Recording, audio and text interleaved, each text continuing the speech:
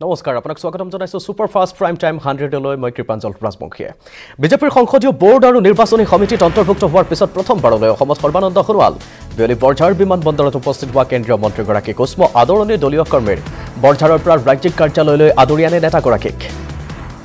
টাটা গ্ৰুপৰ প্ৰাক্তন অধ্যক্ষ চাইৰাছ মিস্ত্ৰীৰ মৃত্যু মুম্বাই আহমেদাবাদ হাইৱেত ভয়ংকৰ পথ দুৰ্ঘটনাত মৃত্যু হ'ল বিশিষ্ট উদ্যোগপতিগৰাকীৰ চালতী দলঙত সংঘটনা হয় এই পথ দুৰ্ঘটনাটো। অসম আৰক্ষীৰ মুখ্য কাৰ্যালয়ত ৰাজ্যৰ ভিন্ন প্ৰান্তৰ চাৰি ইছলামিক সংগঠনেৰে বৈঠক ডিজিপিৰ জমিয়ত আলিয়াদিজ আলি সুন্নত আৰু নদুৱা। এই চাৰিওটা অভিভাৱক সংগঠনক মাদ্ৰাছা সন্দৰ্ভত পৰামৰ্শ। মাদ্ৰাছা সন্দৰ্ভত অচিৰে চৰকাৰে খুলিব এটা বিশেষ পৰ্টেল। ডিজিপিৰে বৈঠকৰ অন্তত সংবাদমেল সম্বোধন চাৰি ইছলামিক সংগঠনৰ অসমৰ কিছুমান মাদ্ৰাছা আৰু মছজিদত জড়িত থকা ব্যক্তি ৰাষ্ট্ৰবিৰোধী কাৰ্যত লিপ্ত হৈছে। আৰক্ষীৰ সহযোগিতাত সমৰ্থন জনাইছে কেওটা সংগঠনে। নিৰ্দিষ্ট নীতি নিয়মৰ মাজেৰে মাদ্ৰাছা চলোৱাৰ পৰামৰ্শ আৰক্ষীৰ। বশিষ্ঠৰ জলসম্পদ বিভাগৰ কাৰ্যালয়ত মন্ত্ৰী পীযুষ হাজৰিকাৰ মত বিনিময় অনুষ্ঠান। জলসম্পদ বিভাগৰ দুই শতাধিক অভিযন্তাৰ সৈতে মত বিনিময় মন্ত্ৰীগৰাকীৰ। বিভাগৰ অভিযন্তাসকলৰ কামৰ খতিয়ান লয় মন্ত্ৰী পীযুষ হাজৰিকাই।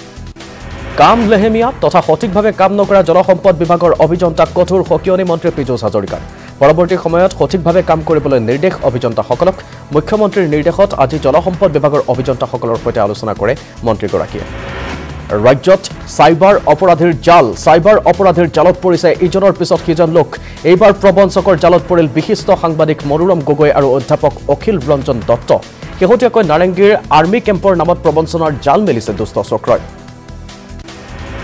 ঝাৰখণ্ডৰ ৰাজনীতিত নতুন মোৰ। বিগত কেইবা সপ্তাহ ধৰি ৰাজ্যখনত চলি থকা ৰাজনৈতিক সংকটৰ মাজতে কাইলৈ আস্থা ভোটৰ সন্মুখীন হ'ব লাগিব ঝাৰখণ্ডৰ মুখ্যমন্ত্ৰী হেমন্ত সোৰেন এন আৰ চিক লৈ প্ৰাক্তন ৰাজ্যিক সমন্বয়ক হিতেশ দেৱ শৰ্মাৰ পুনৰ বিস্ফোৰণ। এন আৰ চিক লৈ আছু আৰু অৱসৰপ্ৰাপ্ত মুখ্য ন্যায়াধীশ ৰঞ্জন গগৈৰ ভূমিকাত অসন্তুষ্ট হিতেশ দেৱ শৰ্মা কামৰূপৰ পচৰিয়াত বহু অখিলঞ্জীয়া লোক খিলঞ্জীয়া হিচাপে অন্তৰ্ভুক্ত হৈছিল বুলি উল্লেখ।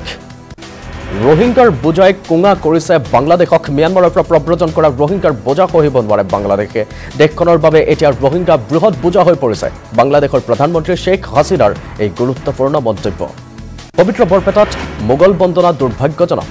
ৰাজ্যৰ পঞ্চাছ লাখ খিলঞ্জীয়া মুছলমান সেইসকলৰ লগত নাই বুলি মন্তব্য বিধায়ক দিগন্ত কলিতাৰ। মোগল সন্দৰ্ভত সাংসদ আব্দুল খালেক আৰু বিধায়ক শ্বেৰমান আলীৰ মন্তব্যৰ প্ৰতিক্ৰিয়া বিধায়কজনৰ।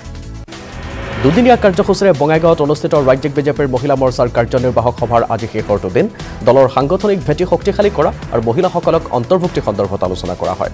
মহিলা মৰ্চাৰ সভানেত্ৰী আঙুৰলতা ডেকাৰ লগতে বিষয়ববীয়াও অংশগ্ৰহণ কৰে।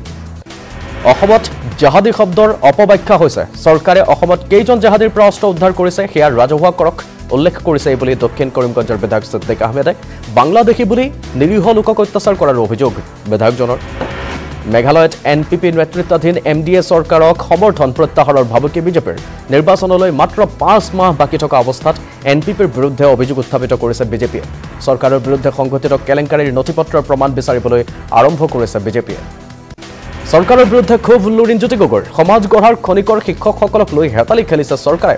প্ৰাথমিক বিদ্যালয়ৰ প্ৰধান শিক্ষকৰ পদ সৃষ্টি নকৰাটো ক্ষোভ গগৈৰ। দুহেজাৰ সোতৰ চনৰ পৰা বৰ্তমানলৈকে ন হাজাৰখন বিদ্যালয় বন্ধ কৰা বুলি উল্লেখ। অসম অৰুণাচল সীমান্তত মন্ত্ৰী অতুল বৰা। সীমান্ত অঞ্চলত পৰিস্থিতিৰ বুজ লোৱাৰ উদ্দেশ্যে উপস্থিত মন্ত্ৰীগৰাকী। অৰুণাচলৰ মন্ত্ৰী বিধায়ক প্ৰশাসনীয় বিষয়া আৰু গাঁওবুঢ়াৰ সৈতে মন্ত্ৰীগৰাকীৰ বৈঠক। মাৰ্ঘেৰিটাৰ ছখন গাঁও অৰুণাচলত চামিলৰ দাবী অৰুণাচলীৰ। দুলুং সংৰক্ষিত বনাঞ্চল অৰুণাচলত চামিল হ'ব বুলি ওলোৱা বাতৰিৰ পাছতে তীব্ৰ প্ৰতিক্ৰিয়া। চিয়া নাহৰৰ বাবে এছিয়া বিখ্যাত বনাঞ্চলখন অসমৰ ভূমিতে থাকিবলৈ দিয়াৰ অনুৰোধ প্ৰকৃতিপ্ৰেমী স্থানীয় ৰাইজৰ লগতে দল সংগঠনৰ। তৃতীয়ৰ পৰা দ্বাদশ শ্ৰেণীলৈকে গণিত আৰু বিজ্ঞান ইংৰাজী মাধ্যমত পঢ়াবলৈ লোৱা সিদ্ধান্তক সমালোচনা আছুৰ মুখ্য উপদেষ্টা ডক্টৰ সমুজ্জ্বল কুমাৰ ভট্টাচাৰ্যৰ। চৰকাৰৰ এই সিদ্ধান্তক অদূৰদৰ্শী আৰু অবিজ্ঞানসন্মত বুলি অভিহিত কৰে ভট্টাচাৰ্যই। যোৰহাটত অব্যাহত বগা চাউলৰ ক'লা বেহা। দুখীয়া ৰাইজৰ বাবে চৰকাৰে দিয়া চাউল চুৰি কৰি ৰমৰমীয়া ব্যৱসায় চলাই আহিছে একাংশই। শেহতীয়াকৈ ৰাইজৰ সহায়ত যোৰহাটৰ পুলিবৰ আৰক্ষীয়ে চোৰাং চাউলসহ গ্ৰেপ্তাৰ কৰিছে এনে এটা চক্ৰক ডিগবৈত বিছটাকৈ পানীৰ প্ৰকল্পৰ কাম ক্ষিপ্ৰতাৰে নিৰ্মাণ কৰি আনুষ্ঠানিকভাৱে মুকলি। এই বিছটাকৈ পানীৰ প্ৰকল্পৰ কাম আনুষ্ঠানিকভাৱে শুভ উদ্বোধন কৰে ডিগবৈৰ বিধায়ক সোৰেণ ফুকনে। জমেটোৱে দিয়া খাদ্যত ওলাইছে জেঠি। স্প্ৰিং ৰোলৰ চচৰ ভিতৰত ওলাইছে জেঠি। যোৰহাটত এই ঘটনাটো সংঘটিত হৈছে। যোৰহাটৰ বেইজিং বেংকট নামৰ ৰেষ্টুৰেণ্টখনৰ পৰা অনা হৈছিল খাদ্য। জেহাদীৰ বিৰুদ্ধে চৰকাৰৰ পদক্ষেপক আদৰণি শ্ৰীমন্ত শংকৰদেৱ সংঘৰ সাধাৰণ সম্পাদক বাবুল বৰাৰ। সকলো মাদ্ৰাছা তথা সকলো মুছলমানেই অপৰাধী নহয় বুলি উল্লেখ বাবুল বৰাৰ। সত্যৰঞ্জন বৰাই কোৰাণ জ্বলাই দিয়াৰ প্ৰসংগতো মন্তব্য প্ৰধান সম্পাদকজনৰ।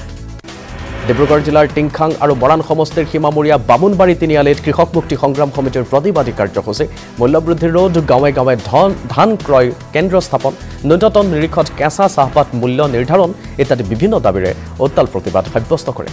গোৱালপাৰাৰ মৰণৈত উদ্যোগ স্থাপনৰ নামত শাল গছ কাটি তহিলং বি পি চি এল নামৰ কোম্পানীটোৰ এই সন্দৰ্ভত গোৱালপাৰাৰ ডি এফক আবেদন নিবেদন কৰিও কোনো ধৰণৰ সুফল পোৱা নাই ৰাইজে। বন বিভাগৰ নিৰৱতাক লৈ সৰ্বত্ৰে প্ৰতিক্ৰিয়া। বিছ বছৰ ধৰি বন্ধ ওদালগুৰিৰ হস্ত তাঁত বস্ত্ৰ শিল্প প্ৰতিষ্ঠান। এৰাবাৰীত পৰিণত ঊনৈছশ বাষষ্ঠি চনতে স্থাপিত বয়ন শিল্প প্ৰতিষ্ঠানখন। ভাঙা বৰুৱা নামৰ গাঁওখনত বহু পৰিয়াল সংস্থাপিত হোৱা এই প্ৰতিষ্ঠানখন পুনৰ কাৰ্যক্ষম কৰি তোলাৰ দাবী ৰাইজৰ।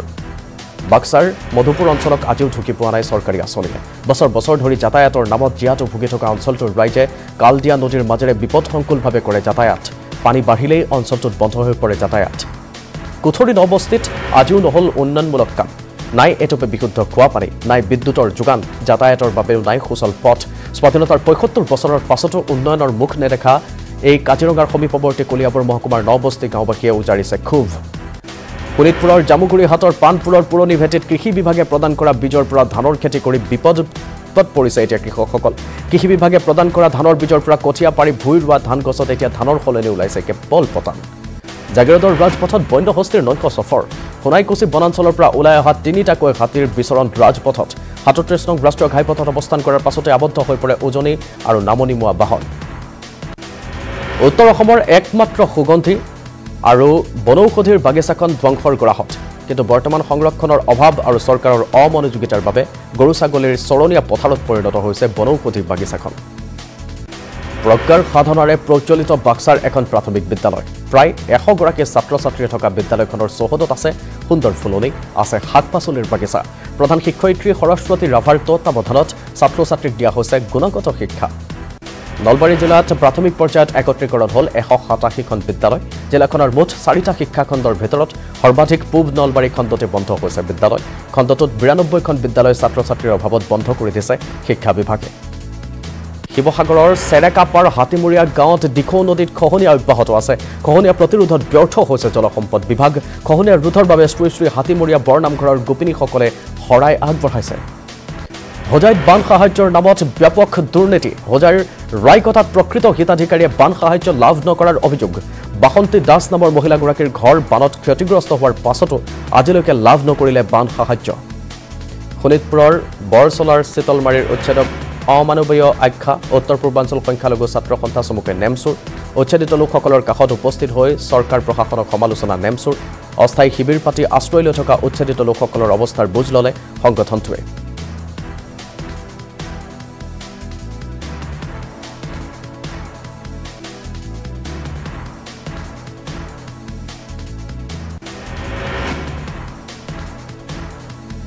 শিৱসাগৰ ভ্ৰমণৰ বাবে পৰ্যটকক আমন্ত্ৰণ জনালে স্থানীয় বিধায়ক অখিল গগৈয়ে। ঐতিহাসিক বুৰঞ্জী প্ৰসিদ্ধ পৰ্যটনস্থলীসমূহ চাফ চিকুণকৈ ৰখাৰ প্ৰতি গুৰুত্ব দিবলৈও আহ্বান জনালে বিভাগীয় বিষয়াসকলক। আজিৰে পৰা ৰাইজৰ বাবে মুকলি হ'ল হেঙেৰাবাৰীৰ অমৃত উদ্যান। প্ৰতিদিনে পুৱা এঘাৰ বজাৰ পৰা নিশা ন বজালৈকে মুকলি হৈ থাকিব উদ্যানখন। প্ৰতিগৰাকী দৰ্শনাৰ্থীৰ বাবে প্ৰৱেশ মূল্য ত্ৰিছ টকাকৈ ধাৰ্য। দহ বছৰৰ তলৰ শিশুৰ বাবে বিনামূলীয়া হ'ব প্ৰৱেশ। মানৱতাৰ হকে আগবাঢ়ি আহিছে এদল যুৱক। ঐতিহ্যমণ্ডিত শ্ৰী শ্ৰী আঠখেলীয়া নামঘৰলৈ অহা ভকত বৈষ্ণৱৰ তৃষ্ণা নিবাৰণ কৰাৰ বাবে অহৰহ চেষ্টা চলাইছে মানৱ দৰদী এটা যুৱকৰ দলে। বামুণ গাঁৱৰ যুৱতীসকলে বা যুৱকসকলে নামঘৰলৈ অহা লোকসকলক যোগান ধৰিছে শীতল পানীয়। গণেশ পূজাৰ সাংস্কৃতিক অনুষ্ঠানত বোকা নৃত্য। বাক্সাৰ সুবন খাতাত চাৰিদিনীয়া কাৰ্যসূচীৰে অনুষ্ঠিত উৎসৱৰ অন্তিম দিনাৰ সাংস্কৃতিক অনুষ্ঠানত দেখা গ'ল বোকা নৃত্য। প্ৰতিকূল বতৰকো দেউচি অনুষ্ঠানত সহস্ৰাধিক লোকৰ অংশ। আজি পবিত্ৰ কৰম পূজা। চামগুৰিৰ আমগুৰি বুধবৰীয়া বজাৰ খেলপথাৰত নগাঁও জিলা আছা আৰু বৰদল দিলকাবস্তি নহৰু বস্তিৰ ৰাইজৰ সহযোগত দুদিনীয়া কাৰ্যসূচীৰে উদযাপন কৰা হ'ল কৰম পূজা। পৰম্পৰাগত ৰীতি নীতিৰে পালন কৰা হ'ল কৰম পূজা। অভাৱনীয় বানৰ পিছত এইবাৰ ৰাজ্যত অভূতপূৰ্ব খৰাং। হ্ৰাস পাইছে বৰষুণ। বতৰ বিজ্ঞান সূত্ৰই জনোৱা মতে বিগত আগষ্ট মাহত ৰাজ্যত হ্ৰাস পাইছে বৰষুণৰ পৰিমাণ। আগষ্টত তেইছ শতাংশ কমিল বৰষুণ। দুসপ্তাহৰ পূৰ্বে বাসত্তৰ শতাংশ হ্ৰাস পাইছিল বৰষুণৰ পৰিমাণ। লোক সংস্কৃতিৰ পণ্ডিত ডক্টৰ প্ৰবীণ চন্দ্ৰ দাসৰ পৰলোক প্ৰাপ্তি মাজনিশা গুৱাহাটীৰ হেল্থ চিটি হাস্পতালত শেষ নিশ্বাস ত্যাগ কৰে লোক সংস্কৃতিৰ সাধকগৰাকীয়ে। ছাব্বিছ আগষ্টত নগাঁও ছোৱালী মহাবিদ্যালয়ৰ সভাত বক্তৃতা দিয়াৰ সময়ত ঢলি পৰিছিল দাস কাম বিচাৰি গৈ গুৱাহাটীত সন্ধানহীন ৰঙিয়াৰ যুৱক। সন্ধানহীন যুৱকজন ৰঙিয়াৰ তুলসীবাৰীৰ ৰাহুল কলিতা। আৰ্থিক সংকটত ভুগি বিছ দিন পূৰ্বে নলবাৰীৰ বন্ধু এজনৰ সৈতে গুৱাহাটীৰ বেলতলালৈ আহিছিল ৰাহুল কলিতা। কে এলৰ মুখ্য সেনাধ্যক্ষ জীৱন সিংহৰ অডিঅ' বাৰ্তা পশ্চিমবংগৰ মুখ্যমন্ত্ৰী মমতা বেনাৰ্জীয়ে ৰাজবংশী জনজাতিৰ বিৰুদ্ধে দমন নীতি চলোৱাৰ অভিযোগ নেতাজনৰ। বংগ চৰকাৰৰ কোচবিহাৰ বা কমতাপুৰৰ শত্ৰু বুলিও উল্লেখ সিংহৰ। সোণাপুৰ ৰাজচক্ৰৰ অন্তৰ্গত ক্ষেত্ৰীৰ ভোগপুৰত বিশুদ্ধ খোৱাপানীৰ বাবে হাহাকাৰ। বহু বছৰ ধৰি ভোগপুৰ পানী যোগান আঁচনিখন বিকল হৈ থকাৰ বাবে খোৱাপানীৰ বাবে হাহাকাৰ কেইবাখনো গাঁৱৰ ৰাইজৰ। মৰিয়নিৰ হাতীপতি চাহ বাগিচাত অনুষ্ঠিত কৰম পূজাৰ থলীত মুখ্য অতিথি হিচাপে উপস্থিত থাকে শিক্ষামন্ত্ৰী ডাঃ ৰণোজ পেগু এই অনুষ্ঠানত মাদলৰ তালে তালে ঝুমুৰ নাছিলে মন্ত্ৰী ৰণোজ পেগুৱে কলিয়াবৰ তিনিআলিৰ মাজমজিয়াৰ পৰা অন্তৰ্ধান অসম ৰাজ্যিক পৰিবহণ নিগমৰ এটি বাছ আস্থান। কলিয়াবৰৰ প্ৰাক্তন বিধায়ক তথা প্ৰাক্তন মন্ত্ৰী গুণীন হাজৰিকাৰ উপস্থিতিত চৰকাৰী ভূমি অধিগ্ৰহণেৰে স্থাপন কৰা বাছ আস্থানটো এতিয়া পৰিণত হ'ল লাইন ধাবালৈ দ্বিতীয় দিনাও ধেমাজিৰ অসম অৰুণাচল সীমান্ত পৰিদৰ্শন মন্ত্ৰী জয়ন্ত মল্ল বৰুৱাৰ মন্ত্ৰীৰ সন্মুখতে অসমৰ মাটি অৰুণাচলক এৰি নিদিয়াৰ হুংকাৰ সীমান্তবাসী অসমীয়াৰ লিকাবালি ভ্ৰমণৰ সময়ত ৰাইজৰে হোৱা বাৰ্তালাপত মাটি এৰি নিদিবলৈ চৰকাৰক দাবী সীমান্তবাসীৰ। বীৰ লাচিত সেনাৰ সদস্যক আৰক্ষীয়ে গ্ৰেপ্তাৰ কৰাৰ বিৰুদ্ধে শিৱসাগৰত প্ৰতিবাদ। চৰকাৰৰ বিৰুদ্ধে ক্ষোভ উজাৰিলে লাচিত সেনাৰ নেতা শৃংখল চলিহাই। খিলঞ্জীয়াৰ চৰকাৰ নে অনা অসমীয়াৰ চৰকাৰ বুলিও প্ৰশ্ন নেতাগৰাকীৰ। টিয়কৰ ঐতিহাসিক ঢেকীয়াখোৱা বৰনামঘৰত ভাদ মাহৰ তৃতীয়টো দেওবাৰে অগণন দৰ্শনাৰ্থীয়ে ভিৰ কৰিছে। ভাদ মাহ উপলক্ষে ভকত বৈষ্ণৱসকলে দিনে নিশাই কৃষ্ণ বন্দনাৰে বিলাই দিছে আধ্যাত্মিকতাৰ পোহাৰ। তাজ বিমানতাত অনুষ্ঠিত কৰা হয় এন ই এফ টিৰ ডিজাইনৰ বিশেষ অনুষ্ঠান। ৰাজ্যৰ বিভিন্ন প্ৰান্তৰ ডিজাইনাৰ শিক্ষাৰ্থীক দিয়া হয় প্ৰশিক্ষণ। এই ফেশ্বন শ্ব'ত এঘাৰটা শাখাৰ চৌত্ৰিছজন শিক্ষাৰ্থীয়ে নিজাববীয়াকৈ বনোৱা বস্ত্ৰ প্ৰদৰ্শন কৰে। মহানগৰীৰ লালুংগাঁওস্থিত এন পি এছ স্কুলত দশম সংখ্যক বঁটা বিতৰণী সভা। বঁটা বিতৰণী সভাত হাইস্কুল শিক্ষান্ত আৰু উচ্চতৰ মাধ্যমিক পৰীক্ষাত সুখ্যাতিৰে উত্তীৰ্ণ ছাত্ৰ ছাত্ৰীক সম্বৰ্ধনা জনোৱা হয়। নলবাৰীত ভৱেন বৰুৱা বঁটা দুহেজাৰ বাইছ প্ৰদান। বিশিষ্ট অভিনেতা দীনেশ দাসক প্ৰদান ভৱেন বৰুৱা বঁটা। অসম জাতীয়তাবাদী যুৱ ছাত্ৰ পৰিষদৰ নলবাৰী জিলা সমিতিয়ে প্ৰদান কৰে এই বঁটা। সোপা ধৰাৰ নামত দিখৌ মুখত গণপ্ৰহাৰত জড়িত অভিযোগত দুজনক গ্ৰেপ্তাৰ। অমল নেওগ আৰু মানিক টাইক নামৰ দুজনক গ্ৰেপ্তাৰ। গৌৰীসাগৰ আৰক্ষীয়ে গ্ৰেপ্তাৰ কৰিছে দুয়োকে। মঙলবাৰে নিশা সোপা ধৰাৰ সন্দেহত দুয়োজন লোকে আক্ৰমণ কৰিছিল এজনক। ম্যানমাৰৰ সামৰিক জুণ্টাই চলোৱা এক অভিযানত বাগো নামৰ ঠাইখনৰ পৰা জব্দ বৃহৎ পৰিমাণৰ অস্ত্ৰ শস্ত্ৰকে ধৰি অত্যাধুনিক যোগাযোগ যন্ত্ৰপাতি। স্থানীয় পিপলছ ডিফেন্স ফ'ৰ্চৰ বাবে অহা সামগ্ৰীখিনি সামৰিক জুণ্টাই উদ্ধাৰ কৰিছে।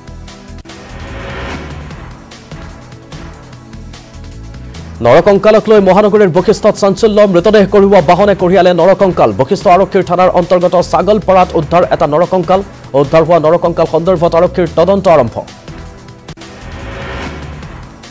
মহানগৰীৰ আই এছ বি টিৰ সমীপৰ কটাহবাৰীত মৃতদেহ উদ্ধাৰ। মৃতদেহটো বিশ্বজিৎ ৰায় নামৰ যুৱকজনৰ বুলি চিনাক্ত। অতিমাত্ৰা ড্ৰাগছ সেৱনৰ ফলত মৃত্যু হোৱাৰ সন্দেহ আৰক্ষীৰ। মেজিক চলাই জীৱন নিৰ্বাহ কৰিছিল বিশ্বজিৎ ৰায়ে। স্বামীক বিচাৰি গৈ স্বামীৰ পৰিয়ালৰ আক্ৰমণৰ সন্মুখীন এগৰাকী বোৱাৰী। এই ঘটনাক লৈ উত্তপ্ত পৰিস্থিতিৰ সৃষ্টি হয় ৰঙিয়াৰ ঢুহিবালা অঞ্চলত। পৰিস্থিতি নিয়ন্ত্ৰণৰ বাবে ঘটনাস্থলীত মোতায়েন কৰা হয় আৰক্ষীক। হাজোৰ দলৈ তোলাত চাঞ্চল্যকৰ হত্যাকাণ্ড। চাৰিজনীয়া দুৰ্বৃত্তৰ দলে হানিক খুচিক হত্যা কৰিলে মজিবুৰ ৰহমান নামৰ লোকজনক। পোহনীয়া গৰুৱে খেতি নষ্ট কৰাৰ অভিযোগ দিয়াৰ পাছতে আক্ৰমণ মজিবুৰ ৰহমানক। জি এম চি এইচত মৃত্যু লোকজনৰ। পাৰিবাৰিক কণ্ডলৰ কৰুণ পৰিণতি কোকৰাঝাৰৰ বাঙালদুৱা প্ৰথম খণ্ডত স্বামী বলেন সূত্ৰধৰৰ প্ৰহাৰত প্ৰাণ গ'ল পত্নী জয়া সূত্ৰধৰৰ। হত্যাকাৰী স্বামী বলেন সূত্ৰধৰক আটক কোকৰাঝাৰ আৰক্ষীৰ। শদিয়াৰ চৈখোৱা আৰক্ষীৰ অভিযানত কেঁকু সাপ উদ্ধাৰ তিনিশ গ্ৰাম ওজনৰ কেঁকু সাপসহ আৰক্ষীয়ে আটক কৰিছে ধেমাজিৰ তুলাৰাম টাকু আৰু শদিয়া অমৰপুৰ ছায়া পাংগিঙক। গুলজাৰ বস্তিত বিক্ৰীৰ বাবে আনিছিল সাপটো। কলিয়াবৰৰ কুঠৰীত ভোজন পৰিমাণৰ গাঞ্জা জব্দ গাঁওৰক্ষী বাহিনীৰ সহযোগত বাগৰি আৰক্ষীয়ে জব্দ কৰিছে বাৰ কেজি গাঞ্জা বাঘমাৰীৰ সুখেশ্বৰ চাওতাল নামৰ লোকজনৰ ঘৰৰ পৰা আৰক্ষীয়ে জব্দ কৰিছে গাঞ্জাখিনি। পশ্চিম কাৰ্বি আংলঙত অব্যাহত আছে কাঠৰ চোৰাং সৰবৰাহ। খেৰণি বন বিভাগে নিশা মাটিখোলা অঞ্চলত জব্দ কৰিছে এখন চোৰাং কাঠ ভৰ্তি বাহন। জব্দকৃত বাহনখনত আছিল লক্ষাধিক টকাৰ অবৈধ কাঠ। ঘটনা সন্দৰ্ভত তদন্ত অব্যাহত বন বিভাগৰ। মহানগৰীৰ ক্ষেত্ৰত পুনৰ দুখনকৈ গৰু ভৰ্তি ট্ৰাকসহ চাৰিজনক আটক। নগাঁৱৰ পৰা মেঘালয়লৈ সৰবৰাহৰ চেষ্টা চলোৱা ট্ৰাক দুখনত আছিল। একাউণ্টাকৈ গোধন। আটকাধীন সৰবৰাহকাৰীকেইটা শ্বৰিফুল ইছলাম ৰিফুল ইছলাম চুকুৰ আলী আৰু ছাহিদুল ইছলাম। ৰঙিয়া আৰক্ষীৰ জালত প্ৰবঞ্চক সত্যজিৎ ডেকা। নলবাৰী আৰক্ষীৰ সহযোগত ৰঙিয়া আৰক্ষীয়ে নলবাৰীৰ চহৰৰ পৰা গ্ৰেপ্তাৰ কৰিছে প্ৰবঞ্চকটোক। ৰঙিয়াৰ এগৰাকী শিক্ষয়িত্ৰীক সহায় কৰাৰ উদ্দেশ্যেৰে লুটিছিল ষাঠি হাজাৰ টকাসহ মোবাইল। ৰহাৰ বগৰীগুৰিত ভয়ংকৰ পথ দুৰ্ঘটনা। ৰৈ থকা ট্ৰাকত প্ৰচণ্ড খুন্দা আন এখন ট্ৰাকৰ দুৰ্ঘটনাত এজন চালকসহ আন দুজন লোকৰ মৃত্যু। যান্ত্ৰিক বিজুতিৰ বাবে ৰৈ আছিল ট্ৰাকখন। দেওবাৰে পুৱতি নিশা সংঘটিত হয় এই দুৰ্ঘটনাটো। চৰকাৰৰ বিদ্যালয় একত্ৰীকৰণ প্ৰক্ৰিয়াৰ বিৰুদ্ধে সৰব অসম জাতীয়তাবাদী যুৱ ছাত্ৰ পৰিষদৰ নেতা পলাশ চাংমাই। বিদ্যালয় একত্ৰীকৰণৰ সিদ্ধান্তক ব্যক্তিগত খণ্ডৰ শিক্ষানুষ্ঠানক উৎসাহ যোগাবলৈ গ্ৰহণ কৰা পৰিকল্পনা বুলি উল্লেখ নেতাগৰাকীৰ। তামিলনাডুত জয়মালাক নেদেখাকৈয়ে উভতি আহিব বিচাৰিছে অসমৰ পৰা যোৱা দলটো। তামিলনাডুৰ পৰা জয়মালাক ঘূৰাই অনাত অনিশ্চয়তাই দেখা দিছে। তামিলনাডুৰ মুখ্যমন্ত্ৰীৰ বাহিৰত থকা অজুহাত দেখুৱাই জয়মালাক কাষ চপাৰো অনুমতি দিয়া নাই দলটোক। নাহৰকটীয়া জয়পুৰৰ সমীপত অসম অৰুণাচল সীমান্তৰ দুৰ্গম নামচাং পথত আবদ্ধ হৈ আছে এটা বন্যহস্তী তিনিটাকৈ বন্যহস্তীয়ে পথটো আবদ্ধ কৰি ৰাখিছে বহু সময় ধৰি। অপেক্ষা কৰিবলগা হৈছে পথচাৰীয়ে। এই পথৰে সীমান্তৰ বিবদমান অঞ্চল পৰিদৰ্শনৰ বাবে গৈছিল মন্ত্ৰী অতুল বৰাও। ভাষা আন্দোলনৰ সক্ৰিয় কৰ্মী তথা জামুগুৰিহাটৰ বিশিষ্ট সমাজকৰ্মী টোৱা বৰাৰ মৃত্যু। গুৱাহাটীৰ হেল্থ চিটি হাস্পতালত শেষ নিশ্বাস ত্যাগ কৰে বিশিষ্ট সমাজকৰ্মীগৰাকীয়ে। সমাজকৰ্মীগৰাকীক শ্ৰদ্ধাঞ্জলি জ্ঞাপন কৰে বিধায়ক পদ্ম হাজৰিকাই। গোৱালপাৰাৰ দহিকতা কদমতোলাত বন্যহস্তীৰ উপদ্ৰৱ খাদ্যৰ সন্ধানত দেখা জনাঞ্চলত প্ৰৱেশ কৰা হাতীৰ জাকৰে এটা হাতী আবদ্ধ হৈ পৰে। গাঁতত গাঁওখনৰ মাজেৰে যোৱা হাতী দুটাই এটা বাসগৃহ আৰু এখন বাইকৰো ক্ষতিসাধন কৰে। সখী এক্সপ্ৰেছ আঁচনিৰ অধীনত যোৰহাটত গ্ৰামাঞ্চলৰ দুশ আঠচল্লিছগৰাকী মহিলাক স্কুটি বিতৰণ। তৃণমূল পৰ্যায়ত কাম কৰি অহা মহিলাসকলৰ বিভিন্ন ক্ষেত্ৰত দ্ৰুতভাৱে সহায় কৰিবলৈ প্ৰদান কৰা হৈছে স্কুটি। অসম পৰ্যটন নিগমৰ অধীনত কাজিৰঙাৰ কহৰাত থকা পৰ্যটন নিবাসৰ দুৰৱস্থা। কাজিৰঙাত জহি খহি গৈছে ইটোৰ পিছত সিটোকৈ চৰকাৰী পৰ্যটন নিবাস। অসম পৰ্যটনৰ বনানীৰ বাহিৰে অন্য অতিথিশালাবোৰৰো পুতৌ লগা অৱস্থা। ভূত বঙালালৈ যেন পৰিণত হৈছে কুঞ্জবন নামৰ দৌৰমেটৰীটো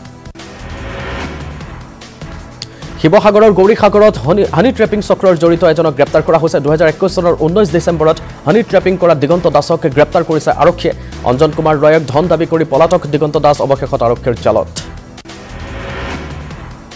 তিতাবৰৰ ন্যায়িক আদালতৰ চৌহদৰ পৰা হেণ্ডকাফসহ পলাল এটা আছামী যোৱা নিশা তিতাবৰ নগৰৰ এখন দোকানত মোবাইল চুৰি কৰি হাতে লোটে ধৰা পৰা তিতাবৰৰ আৰক্ষীক গতাই দিছিল চোৰটোক। প্ৰায় বাইছ বছৰ বয়সৰ চোৰটোৰ নাম কিৰণ নায়ক। যান বাহন চালকৰ বাবে যোৰহাট জিলা পৰিবহণ বিভাগৰ প্ৰশংসনীয় পদক্ষেপ। দুৰ্ঘটনাত আহত লোকক প্ৰাথমিক চিকিৎসা জুই লাগিলে কেনেদৰে নিৰ্বাপন কৰি সকলো প্ৰয়োজনীয় বিষয়ৰ ওপৰত প্ৰশিক্ষণ প্ৰদান কৰিছে চালকক। জিলা পুথিভঁৰাল প্ৰেক্ষাগৃহত এই প্ৰশিক্ষণ। ৰহাৰ খাইগড়ত ভয়ংকৰ পথ দুৰ্ঘটনা নিয়ন্ত্ৰণ হেৰুৱাই দহ খাৱৈত সোমাল চাৰিচকীয়া বাহন। নগাঁৱৰ পৰা গুৱাহাটী অভিমুখী বাহনে টোলগেট পাৰ হৈ নিয়ন্ত্ৰণ হেৰুৱাই বাগৰি পৰে খাৱৈত দুৰ্ঘটনাত কথমভাৱে প্ৰাণ ৰক্ষা বাহনখনত থকা পত্নী পত্নীৰ সখী এক্সপ্ৰেছ আঁচনিৰ অধীনত বোকাখাটত স্কুটি বিতৰণ। বোকাখাটৰ বিধায়ক তথা কৃষিমন্ত্ৰী অতুল বৰাই বিতৰণ কৰে স্কুটি। বোকাখাট মহকুমাৰ ছয়ত্ৰিছগৰাকী মহিলাক বিতৰণ সখী এক্সপ্ৰেছ। ৰাষ্ট্ৰীয় ঘাইপথ প্ৰাধিকৰণৰ গাফিলতিৰ বাবে মৰণফান্তত পৰিণত চাৰিলেনযুক্ত ৰাষ্ট্ৰীয় ঘাইপথ। কলং নৈৰ গাতে লাগি থকা চাৰিলেনযুক্ত ৰাষ্ট্ৰীয় ঘাইপথত উন্মুক্ত হৈ থকা দুৰ্ঘটনাৰ আশংকা বৃদ্ধি। মৰিগাঁৱৰ ঔজাৰীত ভয়ংকৰ পথ দুৰ্ঘটনা। জাগিৰোড অভিমুখী বাহনে ঔজাৰীত দুজন চাইকেল আৰোহীক খুন্দিওৱাৰ নিহত হৈছে দুয়োজন। মৰিগাঁও অসামৰিক চিকিৎসালয়ত মৃত্যু হৈছে প্ৰফেশ্বৰ বৰদলৈৰ গুৱাহাটীলৈ উন্নত চিকিৎসাৰ বাবে আনি থকাৰ সময়ত মৃত্যু হৈছে অমৃত বৰদলৈৰ সমুখ সমৰত অৱতীৰ্ণ হ'ল নাহৰকটীয়া আৰু জয়পুৰ আৰক্ষী থানাৰ আৰক্ষী। ডিজিপি ভাস্কৰজ্যোতি মহন্তৰ নিৰ্দেশ মৰ্মে ডিব্ৰুগড় জিলাৰ চাৰিটা মণ্ডল সামৰি অনুষ্ঠিত ফুটবল প্ৰতিযোগিতা। শনিবাৰে এক এক গলত অমীমাংসিত হৈ ৰ'ল খেল। ঊনত্ৰিছ ছেপ্টেম্বৰৰ পৰা বাৰ অক্টোবৰলৈ গুজৰাটত হ'ব ছয়ত্ৰিছ সংখ্যক ৰাষ্ট্ৰীয় ক্ৰীড়া। অসমৰ তিনিশজনীয়া খেলুৱৈৰ দলে অংশগ্ৰহণ কৰিব নেশ্যনেল গেমছত আৰ্চাৰী ফুটবল লং বল উচু বক্সিং সাঁতোৰৰ লগতে বহুকেইটা খেলত অসমৰ খেলুৱৈৰ যোগ্যতা অৰ্জন। দিল্লীৰ ৰাজৌৰি গাৰ্ডেনৰ এটা টেণ্ট হাউচত ভয়ংকৰ অগ্নিকাণ্ড। অগ্নিকাণ্ডত বহু লক্ষাধিক টকাৰ সম্পত্তিৰ ক্ষয় ক্ষতি তেইছখনকৈ অগ্নি নিৰ্বাপক বাহিনীৰ বাহনে নিৰ্বাপিত কৰিছে জুই।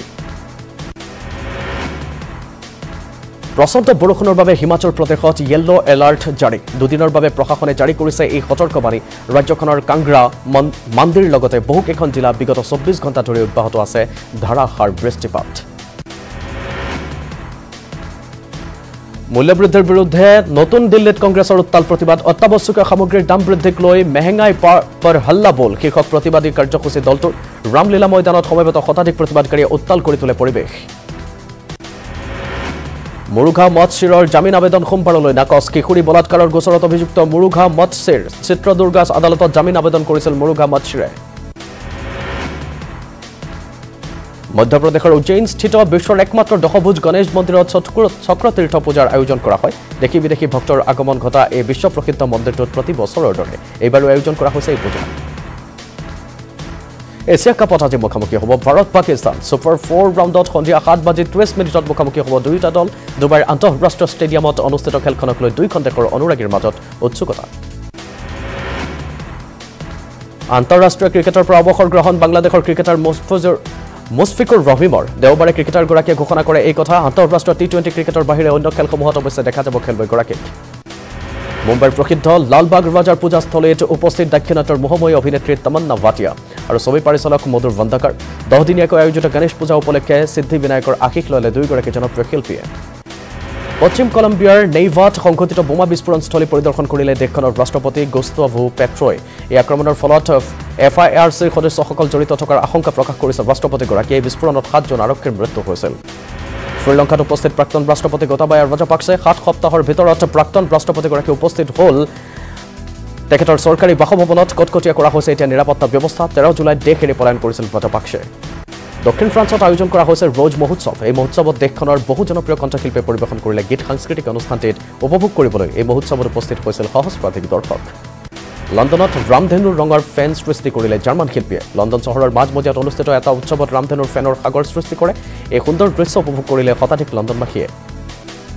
ব্ৰাজিলৰ ৰিঅ' ডি জেনেৰিঅ'ত তিনি বছৰ বিৰতিৰ মূৰত পুনৰ ৰক ইন ৰিঅ' উৎসৱ অনুষ্ঠিত হয়। কভিড মহামাৰীৰ বাবে তিনি বছৰে বন্ধ হৈ আছিল এই উৎসৱ। এই উৎসৱ উপলক্ষে আনন্দত আত্মহাৰা অংশগ্ৰহণকাৰীসকলে ফুটালে আতচবাজী ভেনিছত অনুষ্ঠিত হৈছে ঊনাশী সংখ্যক ভেনিছ চলচ্চিত্ৰ মহোৎসৱ। এই চলচ্চিত্ৰ মহোৎসৱত ৰেড কাৰ্পেটত ভৰি দিলে বহুকেইখন জনপ্ৰিয় হলিউড ছবিৰ তাৰকা শিল্পীয়ে। একত্ৰিছ আগষ্টৰ পৰা অনুষ্ঠিত এই চলচ্চিত্ৰ মহোৎসৱৰ অন্ত পৰিৱৰ্তে দহ ছেপ্টেম্বৰত। ডভিল আমেৰিকান চলচ্চিত্ৰ মহোৎসৱৰ আৰম্ভণি এঘাৰ ছেপ্টেম্বৰলৈকে চলিবলগীয়া ডভিল আমেৰিকান চলচ্চিত্ৰ মহোৎসৱৰ আঠচল্লিছ সংখ্যক সংস্কৰণৰ মুকলি অনুষ্ঠানত ৰেড কাৰ্পেটত ভৰি দিলে বহু তাৰকা শিল্পীয়ে দক্ষিণ কোৰিয়াত হিনামন নামৰ ধুমুহাৰ ত্ৰাস টাইৱানৰ উত্তৰ পূব উপকূলৰ পৰা অহা হিনামন ধুমুহা দক্ষিণ কোৰিয়াৰ ফালে অগ্ৰসৰ হৈছে। টাইৱানৰ বতৰ বিজ্ঞানে আমফানৰ ফলত ক্ষতিগ্ৰস্ত দ্বীপটোত প্ৰবল বৰষুণ হোৱাৰ সম্ভাৱনা ব্যক্ত কৰিছে। উত্তৰ কোৰিয়াত ভয়ংকৰ খৰাং। দীৰ্ঘদিন ধৰি বৰষুণ নোহোৱাৰ ফলত পানীৰ সংকটত ভুগিছে দেশখনৰ বহু ঠাইত। পানীৰ অভাৱত বহু জন্তুৰ মৃত্যু। এটপি খোৱা পানীৰ বাবে ঠায়ে ঠায়ে স্থানীয় লোকসকলে পাতিবলগীয়া হৈছে দীঘলীয়া শাৰী। আৰু দুবছৰৰ বিৰতিৰ পিছত ফ্ৰান্সৰ লীলত পুনৰ মুকলি হ'ল ইউৰোপৰ আটাইতকৈ ডাঙৰ বজাৰ। কৰোণা মহামাৰীৰ বাবে দুবছৰে বন্ধ হৈ আছিল ইউৰোপৰ সৰ্ববৃহৎ বজাৰখন। দীৰ্ঘদিনৰ মূৰত বজাৰখন মুকলি হোৱাক লৈ উৎফুল্লিত ফ্ৰান্সবাসী। আৰু এয়া আছিল আজিৰ ছুপাৰফাষ্ট প্ৰাইম টাইম হাণ্ড্ৰেড বিদায় লৈছোঁ মই কৃপাঞ্চলে নমস্কাৰ।